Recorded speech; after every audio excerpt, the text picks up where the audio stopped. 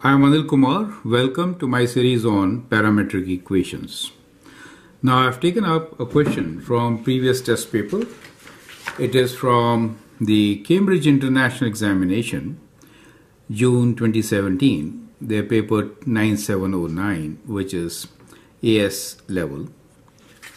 The question here is the parametric equations of a curve are x equals to t cube plus 6t plus 1, y equals to t to the power of 4 minus 2t cube plus 4t square minus 12t plus 5. Part 1 is find dy dx and use division to show that dy dx can be written in the form of at plus b where a and b are constants to be found. 5 marks. Extremely important question. So let's try to see how to solve such a question. Now since we are given x and y, that is the parametric equations, to find dy dx, let's find what is dy dt and what is dx dt. Their ratios will give us dy dx, right? So the concept is that dy dx basically is equal to dy dt over dx dt, correct? So that is the concept. Let us first find what is dy dt.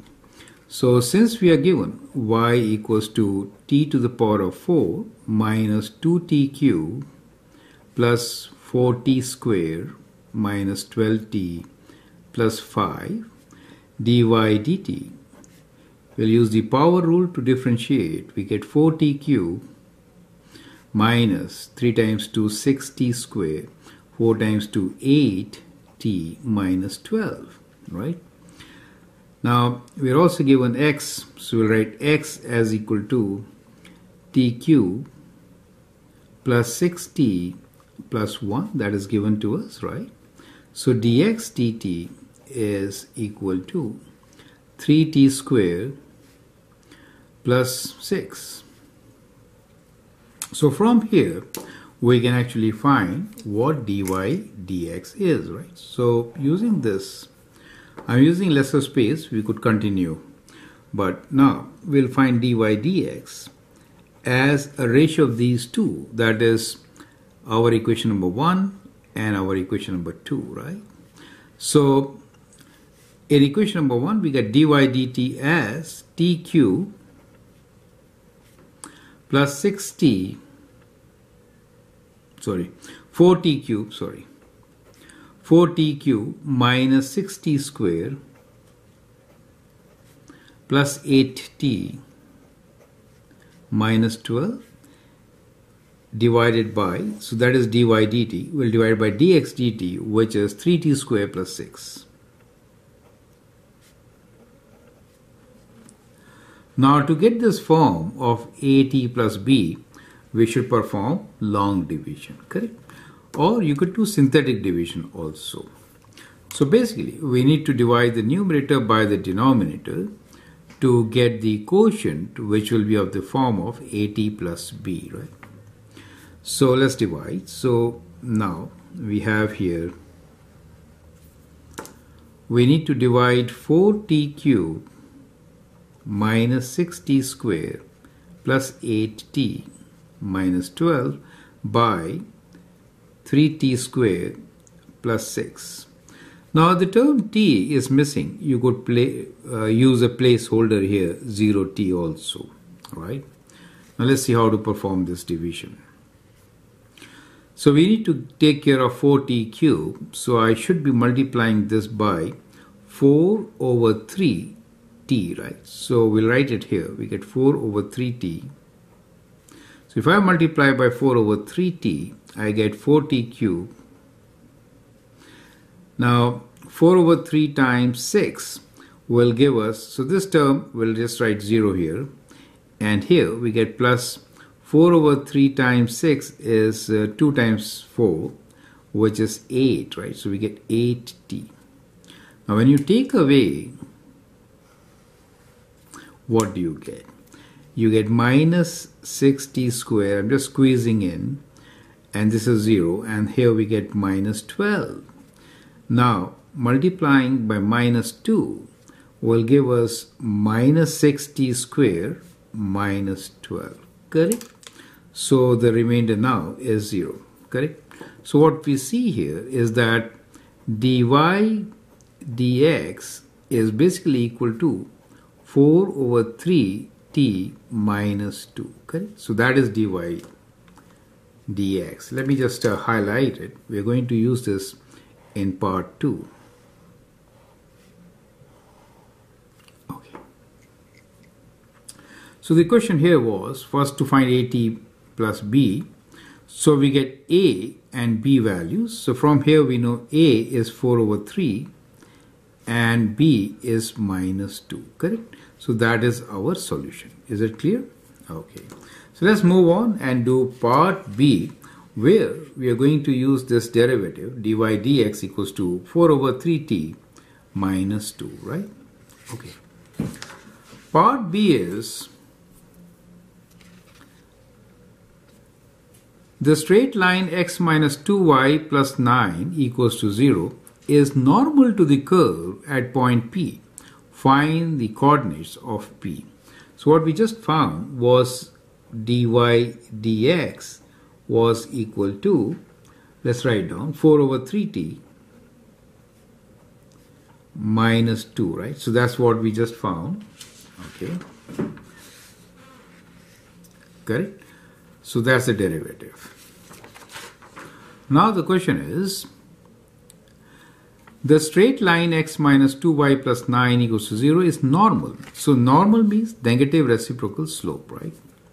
Okay. So now let's again look into this line. We are given normal is x minus 2y plus 9 equals to 0. Let's rearrange. So we get 2y equals to x plus 9 or y equals to half of x plus 9 by 2. So in this case, slope is half. So now, what are we looking for? We want this to be normal to the curve, right? So perpendicular to this will be perpendicular will be negative reciprocal, so we are expecting negative 2. So negative 2 basically should be equal to dy dx, correct? So let's figure this out. So we'll now substitute this value of negative 2, let's call this as equation 3 in our earlier equation, right? So we'll substitute dy dx as minus 2 here. So we get minus 2 equals to 4 over 3t minus 2. So that gives us 0 equals to 4 over 3t and this is possible only when t is equal to 0. Correct? So we get t equals to 0. Now we need to find the point P, right? I'm highlighting with red ink here, but that is not required to be done by you. You have to write your solutions in black ink as we have been doing. It is only for explanation purpose. Clear? Now let's find the coordinates of point P. So we'll use the given parametric equations. So I'll just copy these equations. x equals to t cube plus 6t plus 1, substitute t equals to 0, right? So we know x is equal to tq plus 6t plus 1 and at t equals to 0 we give x equals to 1 right? So x is 1 as far as y is concerned you can clearly see y is equal to t to the power of 4 minus 2t cube plus 4t square minus 12t plus 5 at uh, t equals to 0 we get sorry this is y we get y equals to 5 correct? So the point p is basically what? Point p is 1 and 5 therefore point p is 1 and 5 so point p is a point where the parameter t has the value equal to 0 is it correct? So that is how we are going to solve it.